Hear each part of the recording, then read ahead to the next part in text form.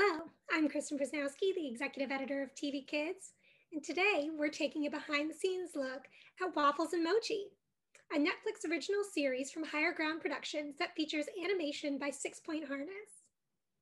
We're speaking with Qadriyyah Shamsid-Deen, producer of Waffles and Mochi, and Musa Brooker, creative director of Six Point. So I'd love to hear how did Waffles and Mochi come about, and how did Six Point and Higher Ground come to work on the series?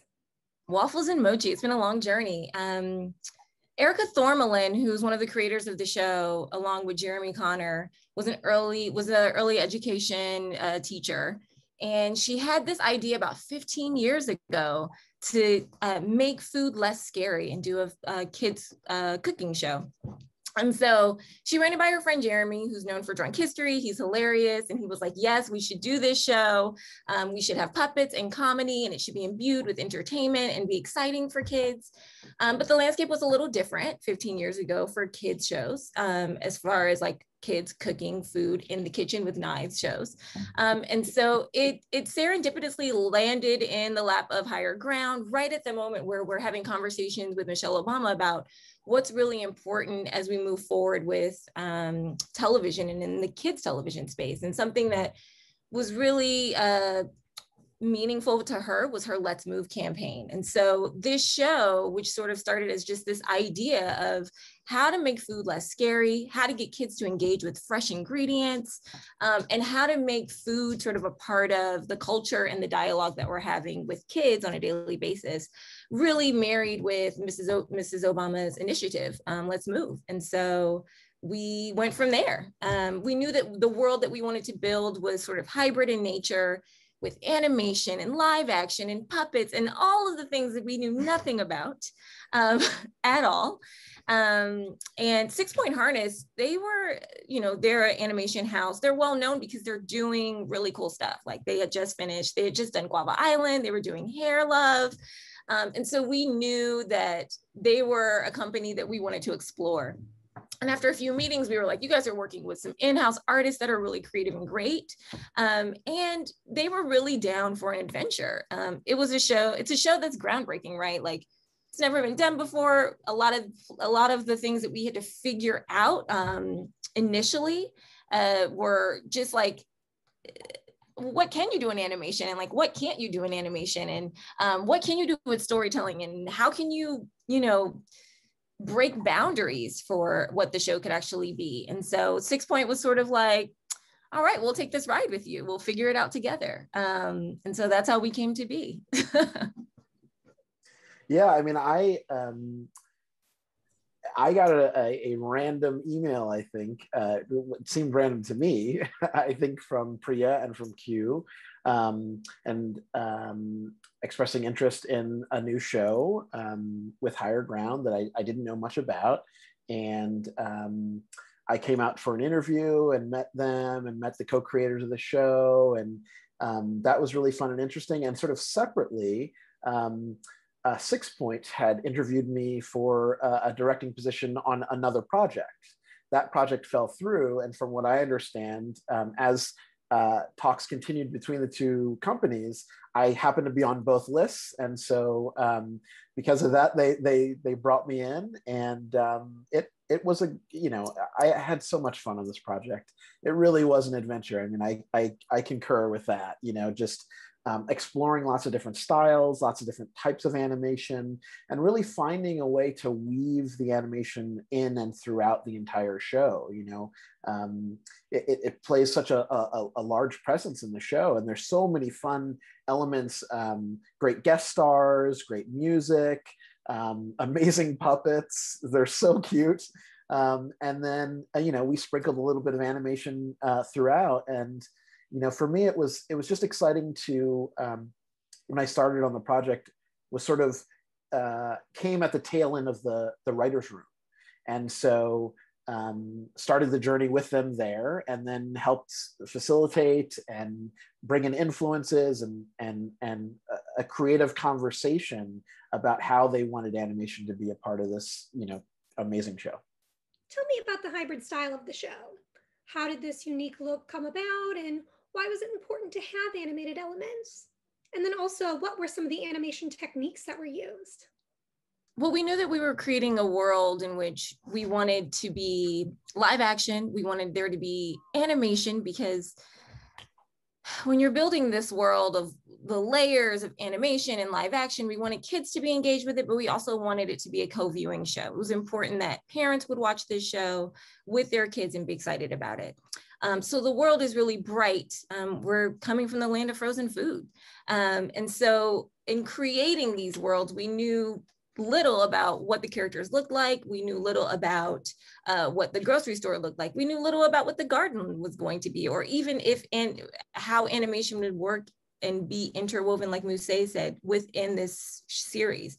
Development was a huge part of that. Everything was questioned and everything was sort of pushed to um, to make the world as engaging to kids as possible, as bright and beautiful as possible, um, and as sort of mysteriously otherworldly as um, the land of frozen foods into our fresh world could be. Um, the look of the show really there's so many consultants and creatives that collaborated on the show to develop this look and this style. Um, and the hybrid nature, I feel like was very organic. Um, we Mousse advised on so many elements beyond animation, um, how characters can play with each other, um, how different segments can be interwoven through the story. Um, and so uh, it was a true collaboration of creative, brilliant minds um, that created this world. And yeah. It was really exciting to me. Um, you know, one of the things that I love about animation is the diversity of styles and how many different techniques and how many different looks. The history of animation is full of lots of different, you know, lots of different takes and styles of animation. And so, you know, one of the great things about this show is they wanted to explore all the different uh, types of food from around the world and different flavors and different cultures and different customs. And so it seemed like the perfect marriage of bringing in different animation styles and different techniques and different designs to match and flow in and out of the different cultures and different foods and different tastes that they were exploring throughout. And so, um, you know, it, it, just really was exciting, you know, uh, Jeremy and um, Erica and Q and Priya and so many people had all these different references that they wanted to to to pull from. Um, and then I also had some references again. Um, the higher ground folks and the creators aren't really animation people, and so um, so part of my sort of responsibility that uh, that I enjoyed, frankly, was sort of showing them different things, uh, showing different techniques, different styles, as well as taking a look at the things that they referenced and sort of merging it all together.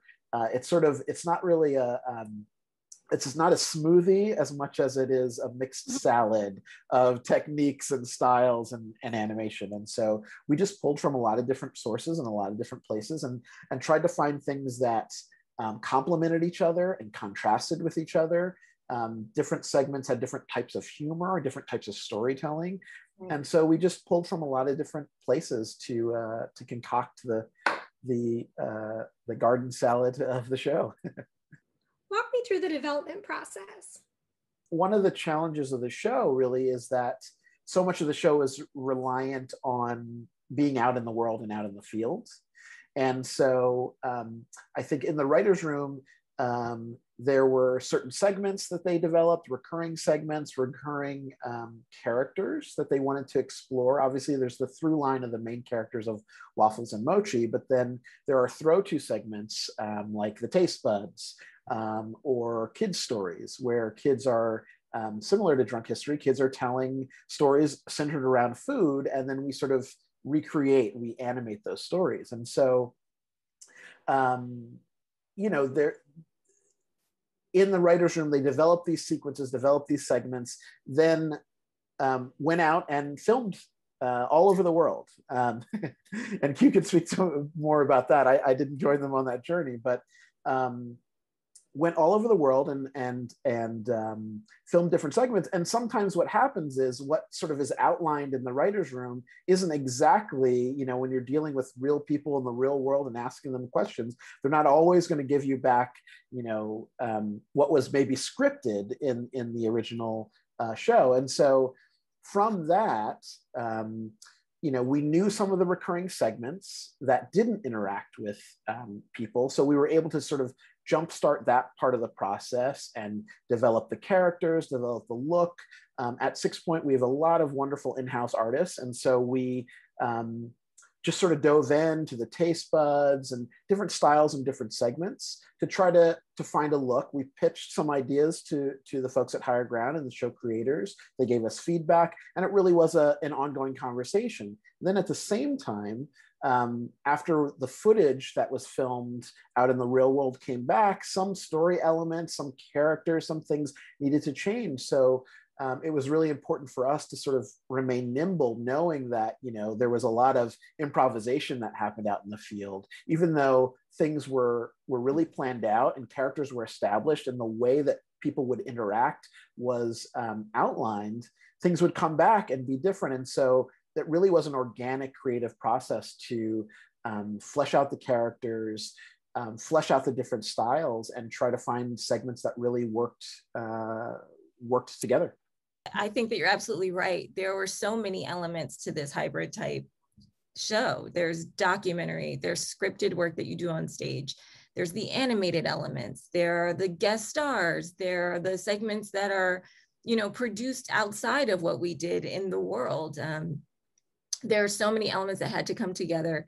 And I think that staying nimble is like the best description of the development process that, that you threw out there we really had to be flexible. We had to be open. We had to be ready to um, for for constant changes that were going to arise and things that you learn when you're creating a show like this. Um, you just learn along the way. Um, and I think that that was what was really cool with working with Mousse is that he constantly um, was like a part of the process, a part of the conversation.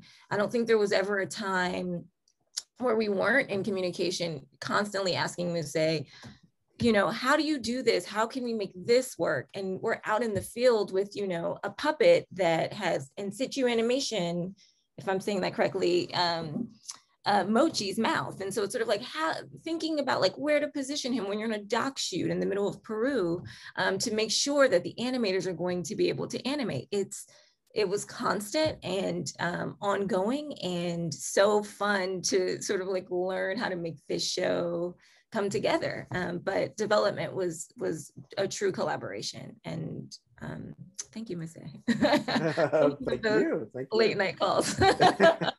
How?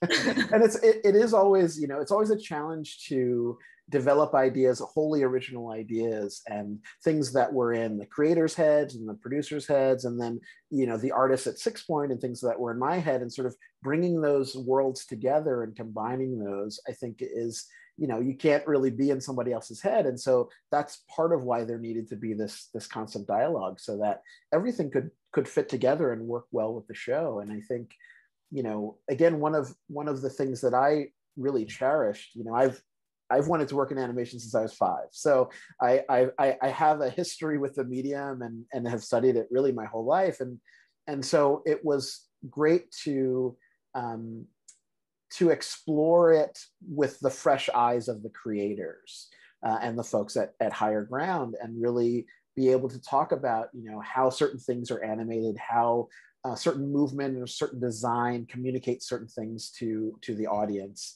um, how to um, bring in um, uh, styles and design sense that is perennial, but also really up to date and modern and current, um, and while still referencing a little bit of animation history. And so, um, you know, honestly, this was really kind of a dream project, uh, just to work on a show that is meaningful and thoughtful and fun and and caring you know food is everything. It's so important, and it's so great that a show like this um, can help um, ensure that kids uh, have knowledge and enjoyment and fun with food. And so exciting to be able to to explore in a medium uh, that I love so much to to help do that. Was there input from Michelle Obama herself? And how did it come that Michelle would appear in the series? I think that everything that happened on the show was very collaborative. And I think it's organic that her company did a show that she was 100 100% excited about. Um, and we constantly had this character that was sort of the guide that was sort of the person who ushered uh, waffles and mochi into this new world and sort of was their uh, gardener in chief was their their person to to watch over them and to to make sure that the lessons that they learned and the engagement actually happened. And so it was it was very natural that she uh, you know played this herself, but played um, this character as the store owner um, in Waffles and Mochi. Um, I think that there's always input. I think that she, how she works is very much wanting to learn from the creators, wanting to have the conversations. Um, she engaged throughout the entire process and um, yeah and it was a great it's a great experience i always tell the story if you've ever seen her engage with a kid you know she gets to their level she communicates with them you know she's exciting to to be around um, and to like learn from and also open as like a as a colleague to to hear your ideas. So it was great. Yeah. What are some of the core values that the series imparts for its viewers? Coming off of the let's move initiative and the exciting part of being on a show that's really about making food less scary, enjoying fresh ingredients, going into the garden and engaging with kids in the garden and saying, oh my goodness, I've never tried this before. I don't know if I want to, but maybe it's less scary at this point. Um, really, it's about engaging with kids, engaging with fresh ingredients in food, having the continued conversations with parents about food scarcity, um, continuing the conversation about around let's move and that initiative and partnering with um, organizations in the future that can help promote these ideas um, our, our, our core values are embedded in the work that mrs obama had already done and really just carries on into the dining room into families engaging in the kitchen around food Mousse, what can you tell us about the type of content that Six Point wants to bring to the marketplace? One of the things that um, that we're really proud of and that we're known for at Six Point is the diversity of the styles that we have, which actually really played a you know again a, a big role in in waffles and mochi. Um, and I think you know we we're proud of that. And one of the things that we say is that we um, we don't really have a house style. We sort of we, mm-hmm. we make a custom suit for every uh, every client and collaborator that that comes through uh, through the studio. And so we're really uh, excited about that. Excited to continue that. And um, you know, the studio's been known as a service uh, studio that does uh, work for hire, but increasingly we're developing our own IP and developing our own projects and linking with um, other creators and creative collaborators to develop things. And so um, we're venturing again, obviously with Waffles and Mochi, but some other projects coming up into the a little bit more into the kids space. Uh, we certainly are known for some of the um, sort of more adult oriented animation that the studio does, and we'll continue to do that. Um, and you know we're exploring uh, as there are so many different venues for animation now and so many different um, eyeballs especially with um, you know with the uh, pandemic um, more and more um, places to watch animation more and more places that need animation. And so we're we're out there developing things working on projects that come to us. And um, but we're also um, hoping to explore. We're primarily known as a 2D animation studio, but we're also um, beginning to explore the use of other styles of animation um, at the studio, a little bit of CG um, and a little bit of stop motion in different aspects um, of what the studio is doing, even though we are primarily a, a 2D animation uh, studio. So the, the future is exciting and bright and and um, yeah, we're, we're excited to continue uh, the work that we've done uh, and to explore um, uh, and create narratives um, for communities and cultures that are a bit underserved. And that's, that's something that's really important to us uh, and a very conscious choice of the studio. Um, uh, so yeah. Q, same for higher ground, especially in the kids space. What are the types of shows that you want to deliver? Shows like waffles and mochi. Um, that's that's what we want to put out. Shows that are sort of challenging what's already been made before that are co-viewing shows where parents and guardians and cousins and sisters can watch these shows with their with their you know kid counterparts. Um, that that actually have a lesson but are also filled with with um, entertainment and fun and are joyful um, but also leave you with an understanding of food excitement and you know just being excited to be on the journey. Um, i think that um, this show really challenged um, every everything that we wanted to do in the kid space um, and uh, has really sort of like broadened what is possible. Um, and so what shows like waffles and mochi is what we want to put out. The series really is fantastic and it's been so great getting to have a look at how everything came together. So thank you both so much for your time. Thank you. Thank you. This was yeah, fun Thanks. thank you so much for having us it's been it's great to uh, you know, really talk. It's been a while since I've actually seen Q, so it's really great to talk it's to her. It's been so long. I know, and to talk to her and to talk to you again about a show that that really is wonderful. It's really something that so many people can watch, whether they're kids or adults. I've actually gotten a lot of feedback from friends that don't even have kids and they've watched it and they really enjoy it. And so that's really exciting. Um, but to, to know that um, it's something that speaks to kids, speaks to the family, it's thoughtful, it's fun, it's exciting. And, um, you know, I can't wait for season two.